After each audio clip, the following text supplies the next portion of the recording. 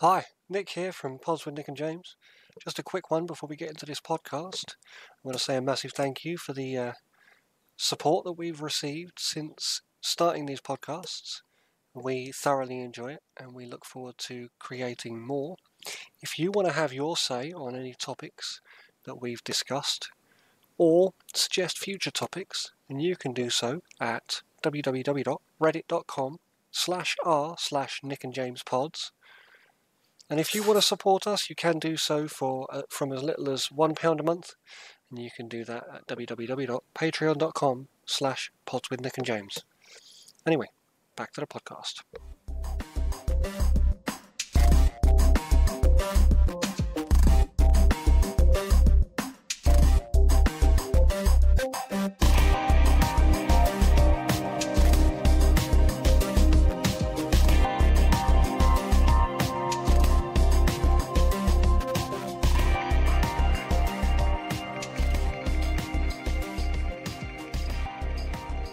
Hi, welcome to Pods with Nick and James, uh, a podcast where uh, two friends just discuss different, um, yeah, intellectual topics as we um, just have a little bit of a, you know, dip our toes into the ocean of knowledge that we all have uh, at our fingertips um, nowadays. Um, today's topic uh, is going to be uh, one that's kind of always interested me on a number of levels. Um, partly in its ambiguity and partly just in the collect in the way that it's collected together and put into the group. Uh, the topic this week is the Renaissance or Renaissance if you're American. Depends. Um, yeah, depends how you want to pronounce it. If I'm honest with you, um, my main sources for this topic uh, was uh, some of the videos on Crash Course by uh, John Green, um, as well as the Stephen Fry documentary on Johann Gutenberg's creation of the European printing press, uh, as well as the Renaissance, a very short introduction by uh, the Oxford uh, University Press by uh, by Jerry Brotton. Um, Nick, I know you've had a number of different sources. Uh, I should have said hello earlier. How are you doing today? I'm good, thank you very much. Yeah. So the with the intention on this podcast that was was that we would both um, look into the same source. So we were both going to look at a, a brief history or whatever it was called of uh, the Renaissance by Jerry Jerry Brotton, was it? Yeah, that's how it's. Um, yeah, I, I, think that's how it's pronounced. It's yeah, spelled. No worries. Um, but unfortunately, I um, my copy of the audiobook failed halfway through, and as such, I decided to dip into other sources, namely the Britannica, um, Quora, other other places such as that, Geeks for Geeks, um, just online encyclopedias and forums, things which is where I normally get my resources from but it should give a nice couple of different angles to the discussion. No, that's that, that's fair enough. That's fair enough. Well, I guess we'll start with the basic thing, Nick. Of um, what what do you believe? Like, because there's lots of different. Once again, because the rena- the Renaissance was a cultural phenomenon, um, do you have what are your views on what constitutes as the as the Renaissance? Um, the Renaissance, in historical terms, was the transition from the Middle Ages to the modern thinking of man. I suppose the best way to really describe the Renaissance is actually to define humanity in the Middle Ages. Okay, all right. No, that's that's a fair point. So to kind of put it in context. Yeah. So all right. A human being, a human person, if they like previous to um, the Renaissance, they belonged to a church. They were heavily religious, and they thought of themselves as that member of that church. and if they were a worker, they would normally belong to a branch of work or a guild, for example, the Blacksmiths Guild or the Woodcutters Guild. The Bankers Guild, yeah. Yeah, exactly. So it was about ownership, I suppose. Each individual was not an individual; they were a part of an ownership um, in the middle in the Middle Ages. Not to mention the fact that it was very um, secular, war-driven, um, oppressed, violent times. um, yeah, it, it also um one one thing that you you touched upon briefly there is it was about ownership, but it was also nationalism. Yeah, was massive. Like so, you're absolutely right. The the individual, as we understand it, it, it seems to suggest almost didn't exist. Like you were. Suppose you could say. Well, I'm I'm a Catholic. Well, okay, yeah. that's fine. What what are you? I'm an Englishman. All right, fine. What are you? I'm a woodcutter. It's, exactly, it's not, and that's that's what not... that's what the Middle Ages was. But sorry, a bit of a dry throat. Um, that's not what we always were, which is kind of what the Renaissance was looking at. Because previous to the Middle Ages, there was there was more of this individuality in Greece and in Rome, mm. um, particularly with people like Plato and Aristotle. Um, their kind of teachings, um, it was almost like that was lost in the Middle Ages with all the war that was going on. All of that independent thinking, that philosophy was lost, and the Renaissance was the renewing of it. It wasn't like a rebirth. It, well, I suppose it was a rebirth. It wasn't the birth of um, the modern man. It was more like the renewal or the rebirth of um, man as sure an individual you, you are you are absolutely correct. I'm pretty sure that's what the word means. Um, I should have pulled up. Yeah, Oxford, actually, I uh, didn't you know mean what, to make that segue. That I didn't mean to no, make but, that segue. No, no, no, but that's a, that's a very, very good point. um, because do, do, do, uh, really should have prepared this beforehand.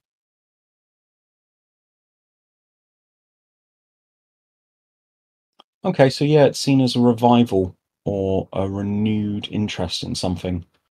Uh, it also comes under resurrection or reawakening.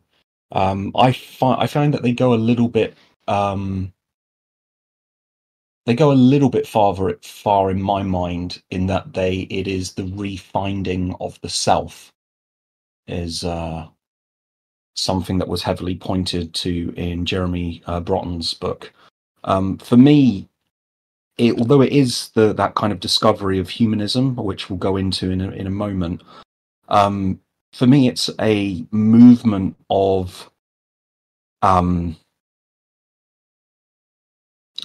okay. So for me, it is financial, technological, cultural, and then ideological in that order for me.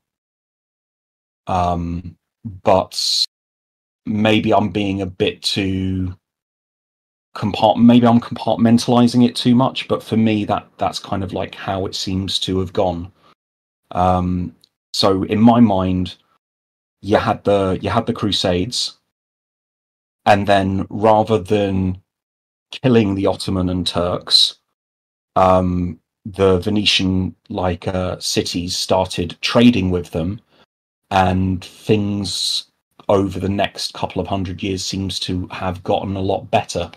And that for me is a, a broad, a very broad, mm, a very broad, but also a very reductive kind of history of the Renaissance, not going into the individual um, amazing accomplishments of people of that time, which um, I'm hoping we'll, we'll step into. Um, I guess. All right, you know what? Just some really, ba- really basic things. Um, what do you feel was the the most important element or the most okay you know what we'll do element person and then favorite person if that's okay with you mm-hmm. um, what was your favorite element of the renaissance um, i think my favorite element of the renaissance was the change in the art mm. Um, it went from quite broad. Um, it became it, the, the the main focal point of most art in um, the Renaissance was on the human form, and it became a lot more um, realistic, shall we say, in the way that they were drawing and very emotive and and there was I mean some of the art was so deep in um like the layers of meaning in the art was it was so clever. Um previous to that you didn't really have that level of depth. You had the symbology. Yeah. So like you had yeah, it was. I, I almost hate to say it because I, I like Byzantine um, art in and of itself. Um, so that you know what? No, okay, no, the, the, art is a good thing, and that that was, yeah, that is one of my favorite elements as well. Um, it just the movement from uh, trad, trad, traditional almost ritualistic symbolism to the representation of the real form as it appears in the human eye um, is one of the I, I, think one of the best things that happened during the Renaissance, and conversely is one of the worst things that happened to art after the Renaissance with the Baroque movement which then started to exaggerate things as a way of trying to overcome that. Um, do you um it, it, since uh, since you've said art, what is uh, your favorite example of Renaissance art? I mean, I'm the joys of being me is that I don't really have. It's only looking into the subject that's really got me into art. Um, yeah, okay. Actually, I that's a lie. I went through the Vatican City. Um, oh wow! I yeah, I, I visited the Vatican City whilst I was in um, Rome, and I think, if I'm honest, the Sistine Chapel, uh, the ceiling of the Sistine Chapel, the story behind oh it as God, well. You've seen it, yeah. The story behind it as well. Did you know that when Michelangelo painted the Sistine Chapel, he couldn't paint He'd never painted before in his life. He was a mathematician, right? This, this is, is, the thing that r- really annoys me. Like, so okay, so you know how like you look back in time to ancient Greece, yeah, and everyone's a natural philosopher. Mm-hmm. Yeah, it they, seems to be there's another term in the Renaissance. They just call everyone a polymath. Yeah, yeah, and that's which the means thing. They did maths and other stuff. Yeah, and to be fair, Michelangelo did everything. Um, yeah. But his his, I suppose, his greatest art was that of the Sistine Chapel. There's no higher praise when you're not even an artist than being asked by the Pope to paint your ceiling. Um, and as I said, like he couldn't paint. So, in order to get around the fact that he couldn't paint, do you know how he managed it? Did he copy? No, he he started started his painting the furthest point away from where the Pope stood as he could in hopes that by the time he reached the point where the Pope stood, it'd be all right and the Pope would never notice. That's amazing. That's, to okay. be fair, that's, that's not very, very human. How a man doesn't know how to paint and yet paints the human forms so perfectly in the way that he did in that amazing tapestry on the ceiling of the Sistine Chapel, I have no mm. idea. And he's upside down. Yeah, that. yeah, he. I heard he did literally lay on scaffolding mm-hmm. whilst he paint whilst he painted it. Yep. I mean, there's okay. so much of his Raphael's. There's a lot of Raphael's art in the Vatican as well. Um, a lot of sculptures from around that time, and of course, the dome of the Basilica de San Pietro, mm. the Church of St. Peter. Of, I I really like uh so Mike out of Michelangelo's I'd have to say his statue of David is my favorite and the my my reason for that is the fact that he took so with his statue of David he's made the head and shoulders um, bigger than they actually are on a human person.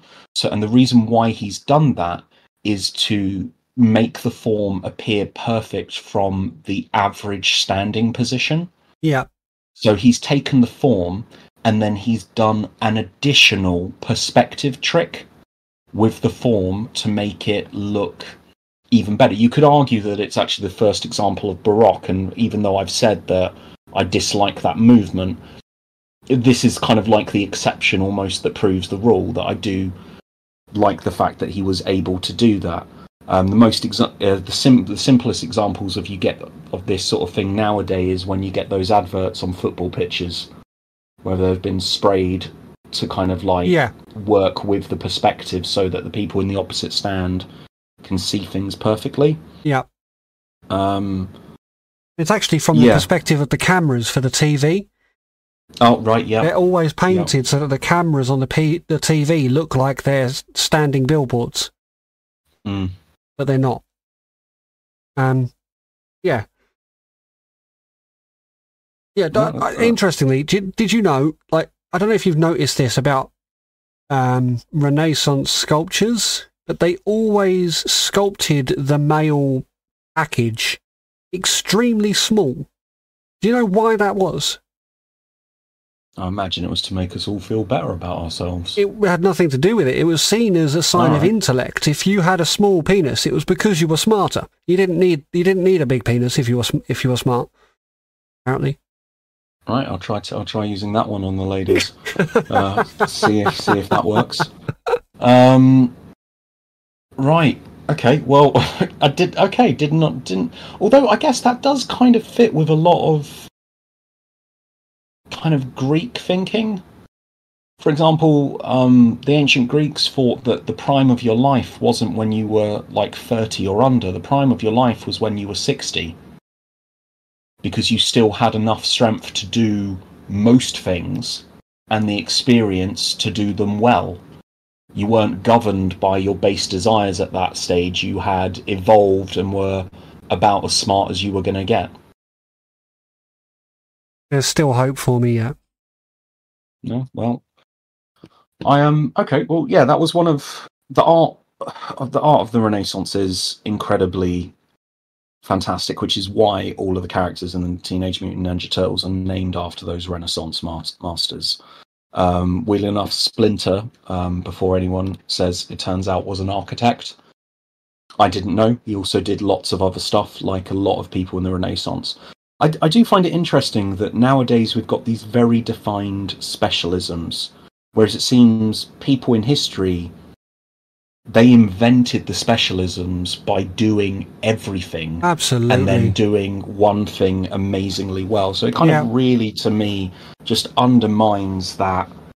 Yeah, because that was a lot of the conversation with the tour guide in the Vatican.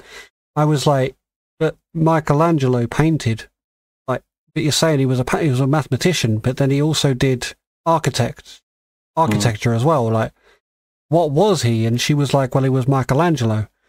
And I was I was like, okay, fair Sorry. enough, you know. but it, it, he wasn't the only person that was like that. He he um he was one of the greatest like that, but he certainly wasn't one of the he wasn't the only person that that would paint and sculpt and and do all this other stuff.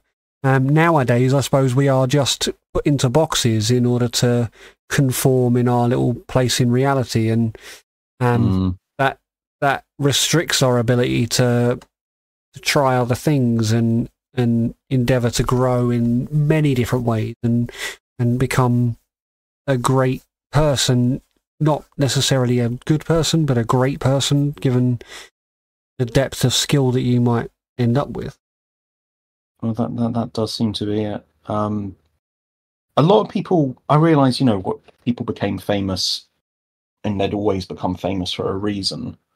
Um, so, one of the favorite things, one of my favorite things about the Renaissance is is that at the time there wasn't the modern understanding of the divide between um, east and west, or like there was there was still both rivalry and conflict between um, Islam and Christianity, but at the times when there were trade, like there wasn't a there wasn't a need to view one history as one history and one history as another.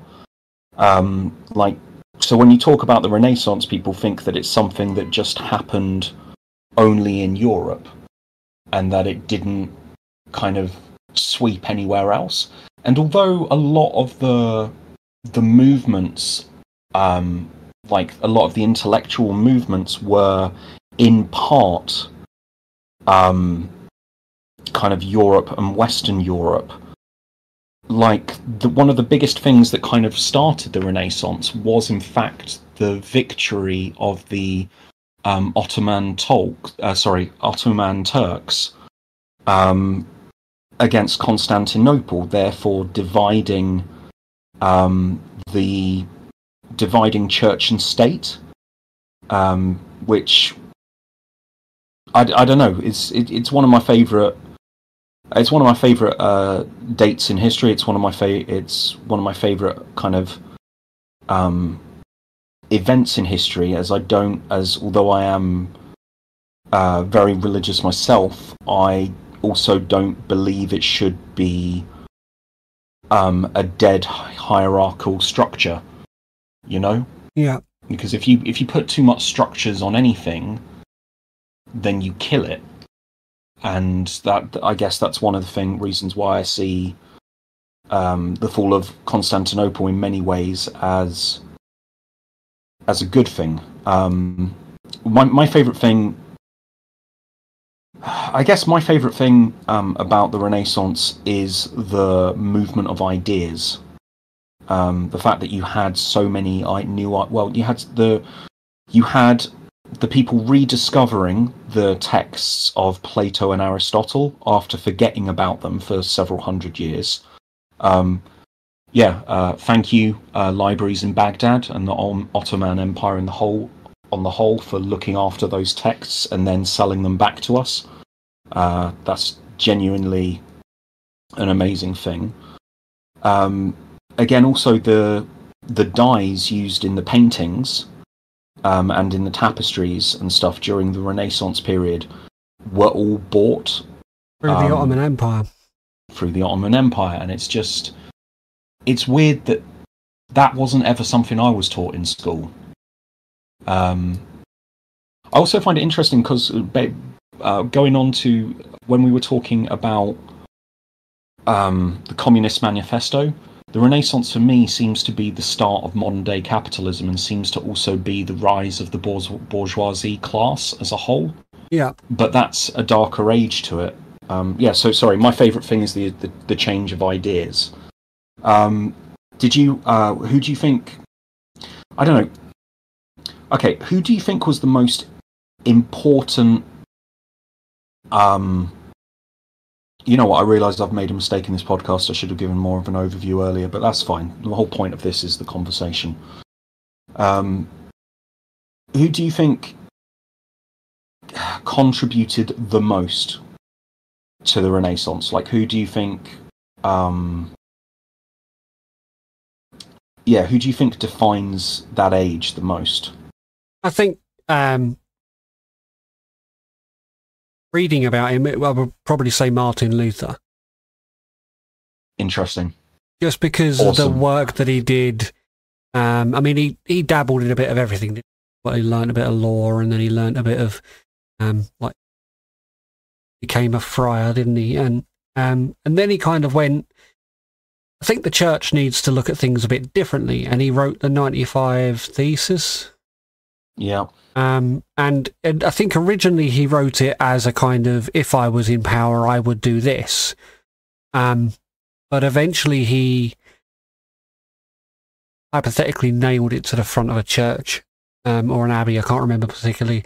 Um, and it is hypothetical. I don't know that there was actually That that is how religious debates and stuff happened in those days. Yeah, yeah. So he just kind of like forced it into the faces of the church, and when this is what you need to be looking at, um, and then became by by proxy a Protestant, became the first Protestant, I suppose you could say, um, and that in turn gave an angle for Henry VIII when eventually he moved to Protestation.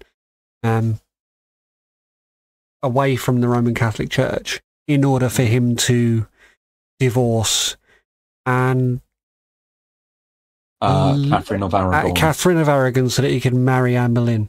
That was the one. I knew it, it was one of those two ways. Interestingly, Also- interestingly, something else that I I picked up on whilst at the beginning of that um, audio book, um, Mm. the brief introduction to Renaissance. It goes on about um, it talks about Hans Holbein's um, I can't remember what the painting's called now. the ambassadors. The Yeah, I- ambassadors. I, I, had to listen to it again to get Yeah. that bit down. Yeah, so Hans Holbein's The Ambassadors, which is in the British. It's in the National Gallery. the National and I'm Gallery, gonna- yeah. I'm going to go find it. Yeah, yeah. So um, Hans Holbein, he actually painted um, the human form throughout the Renaissance, and he painted the the, the picture of Anne of Cleves that Henry VIII saw that made him want to marry her. Interesting. Isn't Anne of Cleves the one that outlived him? Anne of Cleves is the one that he married and then immediately divorced because she wasn't as pretty as he thought he was. He, he was he thought she would be. Ah, but but she did become um one of his He like she was she was still important in court. like- absolutely yeah. So Like, in, Anne, as a Anne of Anne Boleyn got killed and got called loads of things. Catherine of Aragon had to kind of disappear in shame. Anne of Cleves is interesting because she had so much political clout that the king, rather than rather than uh, like you know shame her, he just literally renamed her my beloved sister. yeah he she became the king's sister, um, Mm. and um, he she was given a castle in Richmond and a load of land and a load of gold and She to- did actually do very well. she, did really well. well She apparently. she was married to him from January to July, I believe, of the same year. Oh my god. and then it was annulled as unconsummated.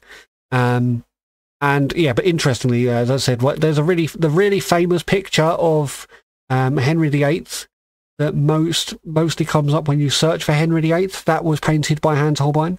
Um, and Really? yeah, Wait, the one of him that where he's a little bit chunky and he's got the hat. yeah, yeah, Ah, that was painted by Hans Holbein.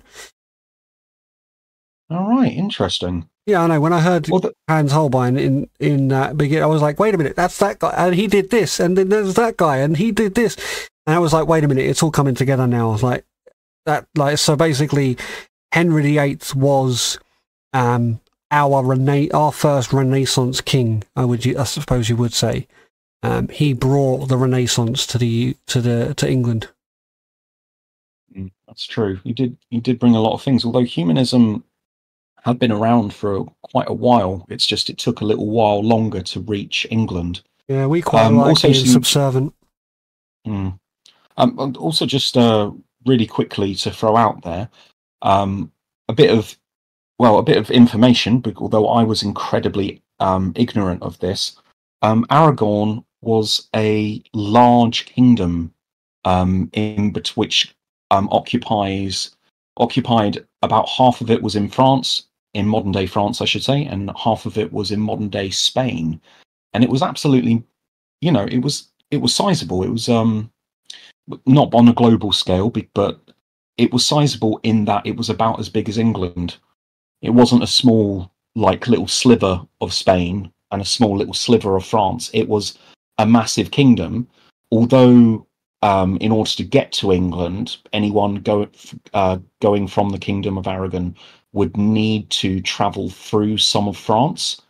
They'd only need to travel through a little bit of it to kind of get to the right shore, or they could sail all the way around Spain. But it's I don't know, because I'd never heard of it, I didn't think it was a big deal. But then I saw it on a map, and it was just like, okay, that's actually, yeah, that's uh, it's yeah, one of those things. It is, it is, it is ignorance, but it's like, it's not, not intentional ignorance.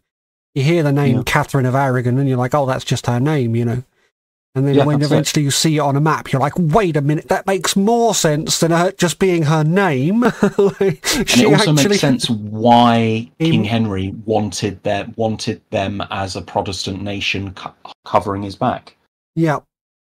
I mean, she, Catherine of Aragon, was heavily Catholic. Mm. She was devout Catholic. She actually retreated to a nunnery after being divorced. Well, that. Oh, I do like that. At least Catholicism does have sanctuaries, um, but that's a whole other conversation for another for another time. Um, okay, so yeah, King Henry VIII, I guess, was our um, our first Renaissance king. Um, what I f- like. What do you think of the Medici family as a whole? Did you did you come across them much? Like I realise they're they're used a lot in pop culture and stuff as well. Yeah, but, I've uh, I've heard the name quite a lot. What relevance they have, I couldn't tell you. Um, oh, okay. Um, they're uh, they're a very okay. So um, in ancient Rome, um, a number of families which ended up vying for the seat of emperor were originally um, olive oil uh, like franchises. Um, With the Medici's, uh, they vied for several thrones um, and the papacy, pope, papacy, pope. Yep. The seat of the pope, Yep, I got what you mean. and they succeeded several times um, in several, yeah, in several different countries, and getting the seat of on the top of the church. Um, and they they did that because they uh, they were originally a banking family. That and again, this is, I guess, one of my problems with not with organized religion, but when you when it becomes too organized, too institutionalized, and you can buy your way to the top. You know, like that's that's just one of those things. But but the Medici family were hugely influential um, and it was kind of almost a sign of the Renaissance was this um, mercantile or this ability to use trade and just wealth to achieve greatness.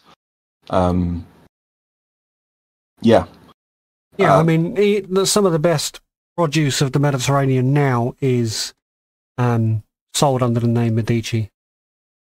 yeah, because it's got those um, it's got those old uh, ties with uh, yeah, with kind of greatness or with kind of like skilled trading.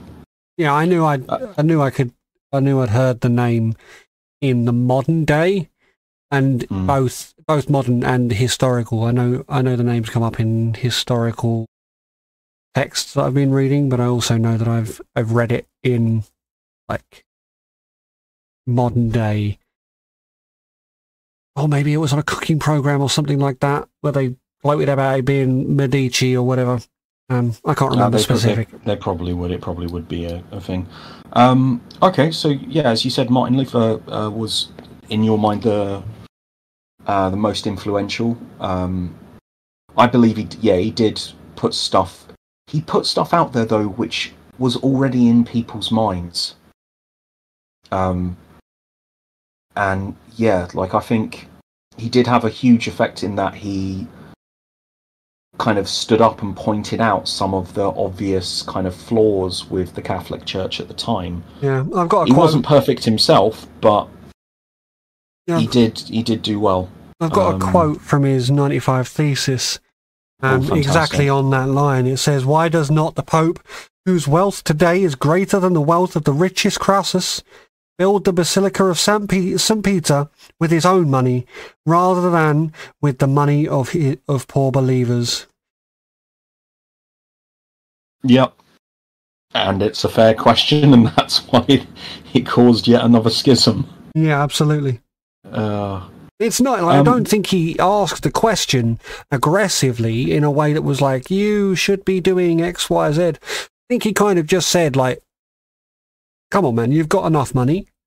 Why are you not doing this yourself? Like, you are a leader, therefore be the leader. Like, do unto others as you would have done unto yourself, kind of stuff. Is that not what you preach? Be be the change you want to see in the Yeah. universe using Yeah, yeah. modern day terminology. Yeah. Um for me there was a Okay, so I see hmm, one of the most influential people uh, was Nicholas Copernicus, um, who was a Polish astronomer. Yep. And what he did was he started, um, he got rid of something. Well, he didn't disprove it. Galileo disproved it, but all of the original, all of the concepts that were set about by, or that were proved by Galileo, were first uh, brought about by um, Nicholas Copernicus. Copernicus, yeah. Yeah, Copernicus. Sorry. Um, and it's interesting because you know how you said about how people did loads of different things. Yeah. Copernicus was both a lawyer and a doctor and an astronomer and Yeah. also a philosopher, of course. Yeah, yeah, yeah. I mean, Um, to be fair, And it's just like, if you. oh, okay, all right, you, you you couldn't just stick with one impressive career. You had to, you know, get all of them. But um, what he came up with was really important to me, at least, in that he um, he started the journey from believing in uh, geocentralism, which was a fallacy brought about by, um, I think it was either Aristotle or Plato, which was was the Earth is the center of the. uh, center of the universe. Because Yeah. why wouldn't it be? Yeah, absolutely. Um, and then it was also kind of the, the idea that um, beyond the beyond the moon, uh, the everything else in the sky was metaphysical and in, insubstantial, rather than just very far away. Yeah. Um, and so he brought about um, heliocentralism, which was believing that the sun um, is is the center of the universe, but that's that's wrong. But at least believing that it's the center of um, the solar system and that the Earth travels round the sun. Um, it I'm also interests to- me. Still waiting for a lot of humans to catch up with heliocentrism. They are Yeah. not the center of the universe. The the sun is the, ce- the center of the solar system. That is definitely the sun, and you should get on with your own lives because you are, in the grand scheme of things, inconsequential, but you're only cons- consequential to yourself. Yeah, that's it. But he was um I, I see him as one of the the major things. What really does kind of I guess what kind of frustrates me is the uh, about the Renaissance, some or at least one of the things that um, frustrates me about the Renaissance is some of the unfairness. Um, not just the the fact that it's when um, colonialism really kind of started and took off, which I also found ridiculous because there were a number of books which were instructing people on how to do good business, and a number of the books simply pointed out that um, if you follow the things in the Bible, like love your neighbor, or if you try and do good to these people, uh, to people who are poorer than you, you won't gain financially from that, so you shouldn't do it. And it's interesting to me that you had writers writing that and advising kings, and they weren't touched because of their high positions. Yep. Yet the moment somebody didn't have that that clout or that high position or that influential family, that's when they were persecuted. And that's that that to me kind of really yeah, that that annoys me. Just the the the fact that money bought you safety. Um it still kind of just frustrates me. Yeah, I suppose a Um, good, okay. good point to segue into the uh, the teachings of the Renaissance and how that kind of changed. Um, Yeah, yeah, sure. So the uh, the difference between the Renaissance and I suppose Middle Ages was that um, in the Middle Ages you kind of learnt your trade and you stuck at that. You became part of a guild, etc. Um, in the Renaissance, they had two kind of core um, teaching umbrellas, shall we say? They called them the Trivium and the Quadrivium. Yes, Yeah. Um, the trivium was like their most important, and the quadrivium quadrivium was not necessarily less arts, wasn't it? important, not necessarily less important, but it was um, secondary, shall we say, to the trivium. The trivium is the teachings of grammar, the teachings of logic, and the teachings of rhetoric. Um, and to put that in layman terms, it's the art of using word, then the logic of thinking, and or the art of thinking, and then rhetoric is the art of communicating your thinking in words that make sense to other people. Um, quadrivium is arts, number, uh, the arts of number and quantity. So that's the teaching of arithmetic, geometry, music, astronomy, um, things like that. No, that's yeah, that's a good point. Like I know that that was. It interests me as well um, that rhetoric was seen as so important. Like another thing, you know what? I, I should have I, I should have researched more the people that I don't like, and kind of said why I don't why I don't see their um, contribution to the re- Renaissance as a good thing. Um, the types of people that I didn't like in uh, the Renaissance were the people who said, um, or the people who were so versed in rhetoric that they could make anything true by talking. Yeah, so Um, basically the a modern- media, the, the propaganda of today. Yeah, the, the very first spin doctors. Yeah, and they would write these books um, to prove how good they were at rhetoric and send them off to kings, quite often multiple kings, as a way of saying, Look, let me in your court. I can make any decision you make just and legitimate. yeah, seemed like the best You thing in the world. Yeah, Exactly. And it's just like, I realize you want everyone wants a place at courts and stuff, but you're just, you're enabling somebody who's already been way too enabled.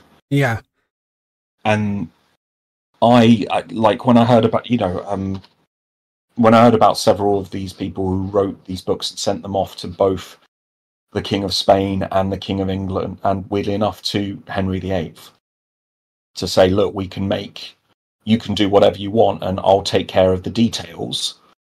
Um, that just wasn't fantastic. I think also the idea that I don't like that came about in the Renaissance was the idea. It seems to be the birthplace of we have rediscovered um, Aristotle. We have found out what is profitable. Therefore, we are better than everyone else. It's when, like, Europe as a power started to come into its own thing. And immediately, almost immediately, the people in power started trying to figure out how to carve up the rest of the world yeah, and lay claim to things that weren't weren't theirs yeah. you know I mean, pre pre Renaissance, people would not have called themselves re- European. Um, that's it However, post Renaissance, it was pretty normal to be European. You know, as a as a sect. Um, Mm. and anything that wasn't European was seen as lower until the New World. Of course, it was Columbus's. Was it Columbus that went to the New World? so columbus Apparently- went to columbus went to america um, there was another bloke who went and did it, uh, called John uh, Cabot, who weirdly enough did it under the patronage of King Henry VII. An interesting thing about him, his name was actually Giovanni uh, Cabot, and he literally, um, really weirdly, the whole reason why he went on this voyage to try and go find another way to get to India and get the get the spices, get all of the dyes, get all of the good stuff was because he was running away from debtors. And it almost like says it all. He literally ran out of Florence in the city states and went to England and sought um, patronage there because he'd rung up loads of debts in his home country. And it's just. yeah, but sorry, yeah, Columbus. Columbus um, is renowned for finding uh, America. My, my, I, I kind of actually. I mean, he went prefer... knowing it was there. There are Yeah, there yeah. are maps from Yeah. like the Piri Reis map where it is quite clearly um, painted on this map. I, I also love that another thing that they don't teach you in history class is um, although you know we had some maps and there were some classical maps from ancient Greek and stuff.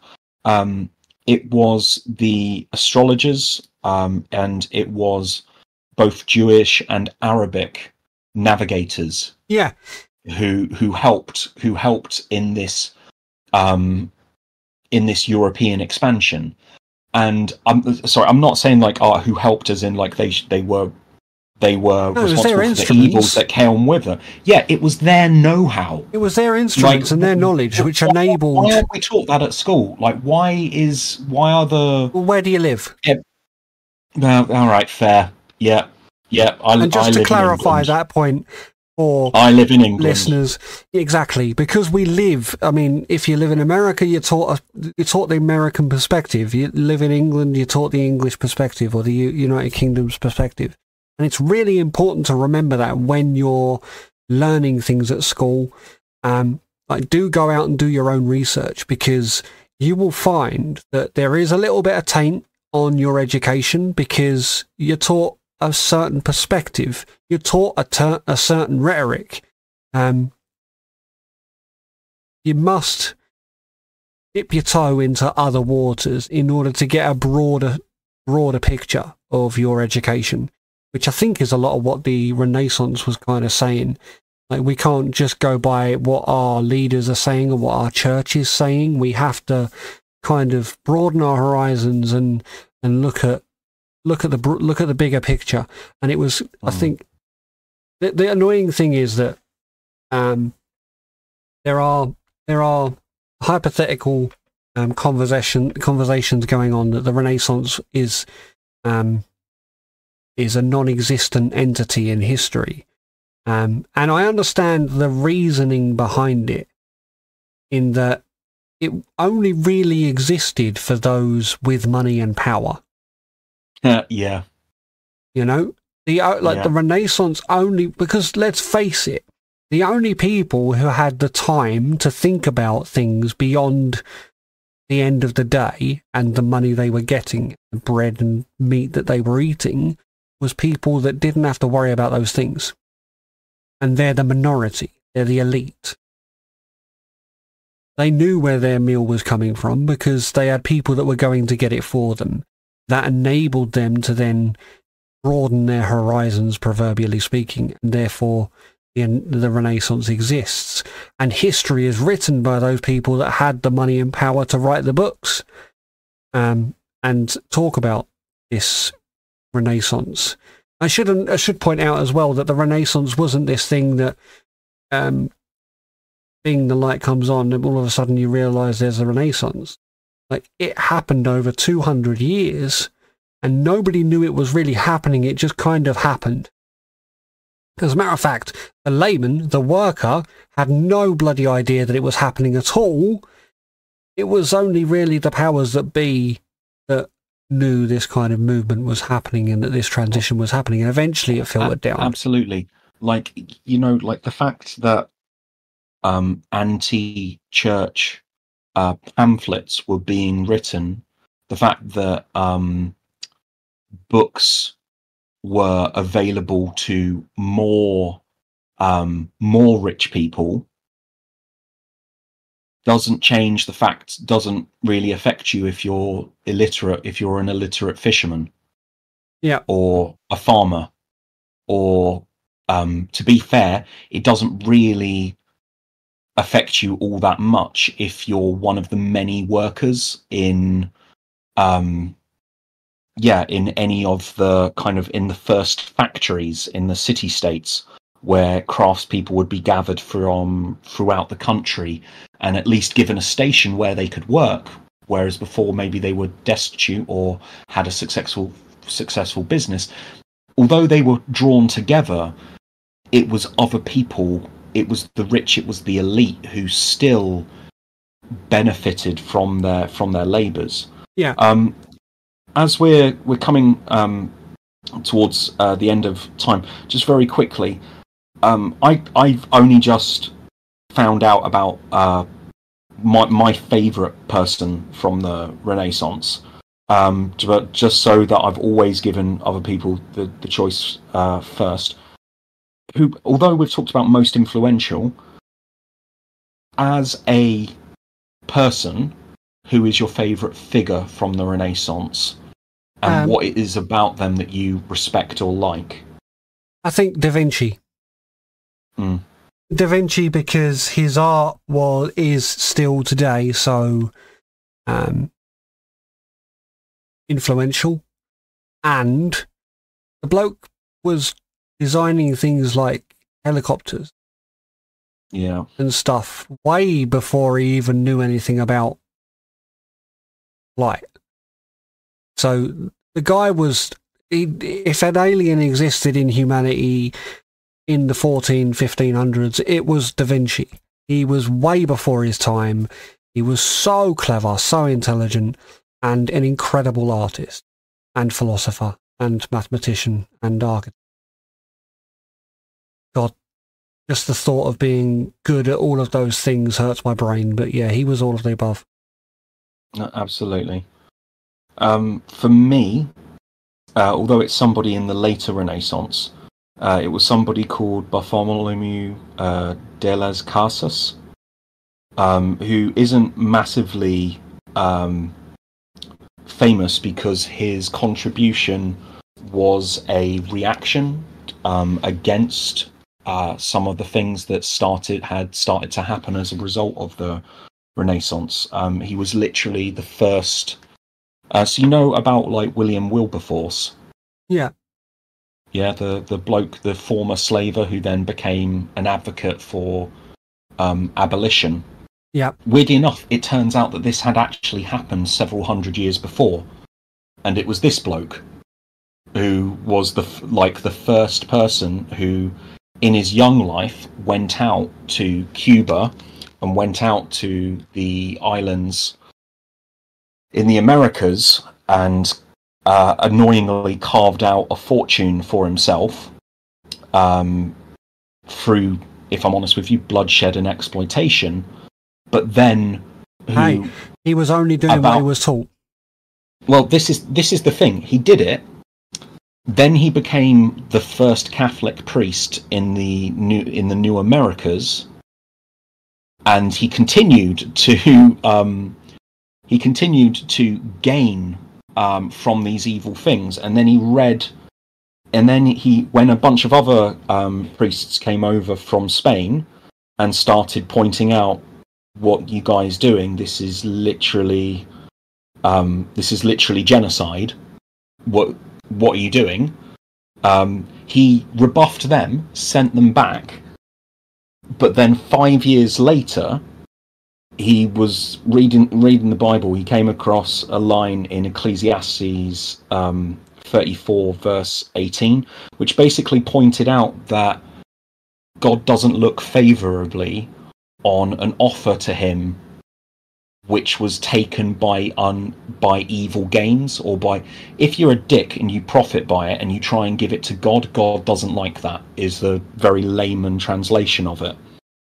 And w- it's really weird that this bloke who had been oppressing the people in the people in these islands, it, it, he he loaned owned some land in Haiti, and he had a complete turnaround, and he immediately gave back his land to the natives and then started to convince, trying to convince all of his other landowning friends that they should do the same.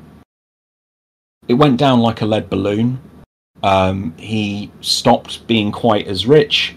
He slowly but surely um, lost all of his political power. Um, and he wasn't able to he, he did his very very best to convince people he wasn't able to and he ended up um yeah he ended up go um becoming a monk but it's just it's interesting to me that at the very least he celebrated nowadays because he realized what he was doing was wrong and changed his mind I reckon he had a conversation with a burning bush. Well, maybe, maybe he did. Maybe he did. Um, it says he was just reading the book, but I don't know what he saw or if he had any dreams or anything. I should have maybe researched it more. If he was in South America. South America, then he might have taken a bit of ayahuasca, and then he definitely would have had a conversation with a uh, burning bush. to be fair, hallucinogenics have been used throughout most societies in history. That's a whole different topic. Let's not get Yeah, into that, right okay, you know what? That's right. That, that, that is another one that we'll do at another point. Um, but yeah, he's he's my favourite, and it's annoying though because he's my favourite simply because a lot of the other ones were well, they were all products of their time. Yeah, Um, yeah. I think it's important to remember that they were taught a specific way of thinking, and they like to Mm. think they were quite revolutionary in the way they were thinking. But at the end of the day, they were subject of the times, and yeah, like Martin Luther was fantastic in that he was able to um, denounce the Pope's uh, use of finances, but he himself was not pro-Semitic and was not pro-Islam. No, I mean he was he was a subject. He didn't get a scholarship for um, his uh, religious studies because his father was so blo- bloody rich. His father was a copper miner, um, owned copper mines, and as as such, when it came to him changing from law to religion studies, he couldn't get um, a scholarship because his because he had too much money. Um, so my God. it wasn't like I said. The Renaissance existed only for the elite. You know, it was certainly wasn't a lowly fisherman. that- Right, and, that- and this is why Martin Luther wasn't just stoned to death by a rabble absolutely, because he was that because He he, was that rich. he had money. He had he had standing in society. He wasn't just picking up peanut shells. That's fantastic. Um, yeah, I think uh, my very least favorite character of the Renaissance is Hernan Cortez, uh, but that's a whole other conversation for another time. Um, I mean, I don't have, I don't, I really don't know enough to have a least favorite. I think from an Mm. English perspective, you've got to, you've got to have a bit of a distaste when you talk about Henry VIII, but it doesn't come without it. Like once again, he was a subject of his own um, Yeah, I mean, to be fair, standing. like if a girl smiles at me too much, I'll start getting big headed. Imagine, you know, being pampered to your entire life. Yeah. I mean, I didn't know that Greensleeves was actually written. Um, I say written. I use that term in very loose quotation marks by Henry VIII. Um, he wrote Greensleeves as a wooing for Anne Boleyn. Mm. I say he did. Obviously, he had a court, um, court minstrel that wrote it for him and then made him go and perform it to Anne Boleyn to woo her. No, it is. You you do wonder how much of anything the people who wrote these things actually came up with.